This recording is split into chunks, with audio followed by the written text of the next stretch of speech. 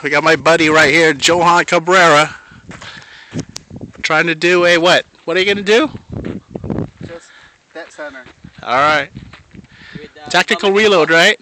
with the tactical reload. Okay, take it away, man.